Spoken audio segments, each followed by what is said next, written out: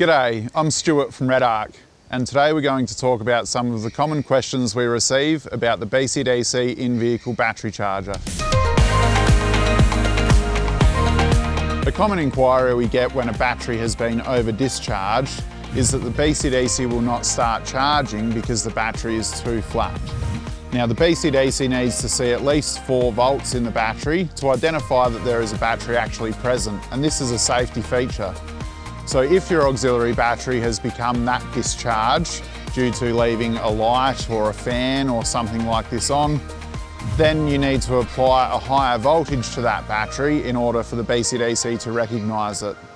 This can be done with a jump starter pack or jump starting from your start battery or applying another charger to the battery such as a mains battery charger.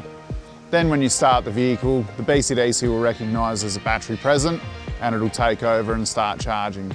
There are six fault codes that the BCDC can display by flashing all of the LEDs and then there is a three and a half second delay in between the flash rate. Two common faults are the all LEDs flashing five times. This indicates the input voltage is under voltage. The common cause to this fault is an incorrect fuse holder has been installed. If blade fuse holders or circuit breakers have been used, it is recommended that these are replaced with MIDI style fuses. Secondly, there's the flash rate of four times, and this indicates the output over voltage. The common cause to this fault is when a solar panel is wired in reverse polarity to the BCDC, or the auxiliary battery is being charged by another charger that is supplying too high a voltage.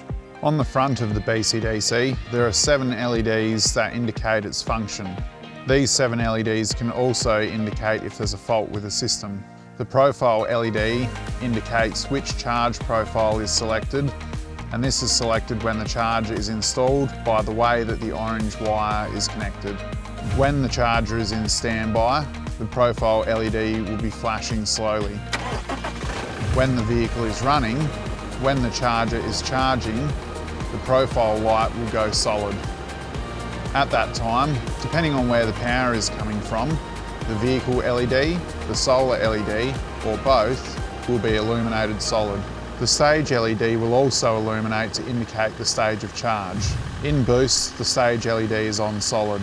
In absorption, the stage LED flashes twice per two seconds. In float, it flashes once per two seconds. When testing to see if the BCDC is receiving the correct voltages, it is important to check the voltage at four locations. One is at the start battery. And when the vehicle is not running, the start battery will be less than the turn on voltage of the BCDC. Also, check the voltage at the auxiliary battery across the positive and negative battery terminals. This should be showing the circuit voltage of the auxiliary battery at rest. These voltages will change when the BCDC is running if there is a good connection to the batteries.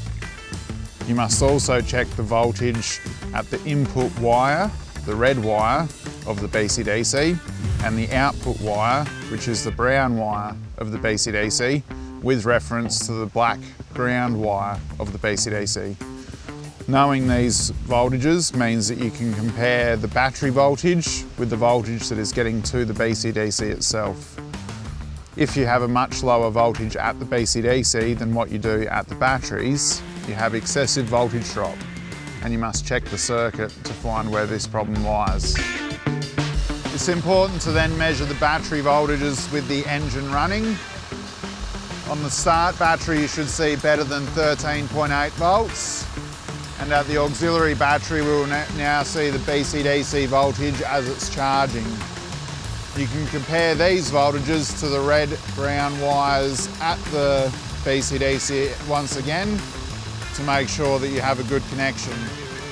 If the auxiliary battery is very discharged, the voltage on the auxiliary battery may appear much lower than this, in which case you can measure the current flow from the BCDC into the auxiliary battery to confirm that it is charging. We can see that we're currently charging with 20 odd amps. For more helpful information and technical assistance, visit the how to and frequently asked questions on the Red Redarc website.